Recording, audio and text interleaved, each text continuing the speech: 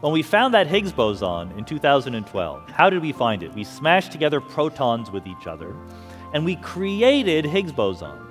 It's not that the Higgs boson was locked inside the proton. The Higgs boson is over 100 times heavier than a proton is.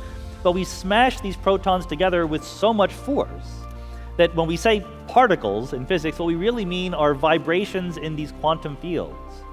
And the vibrations in these fields overlapped and went crazy and started all the other fields in the universe vibrating.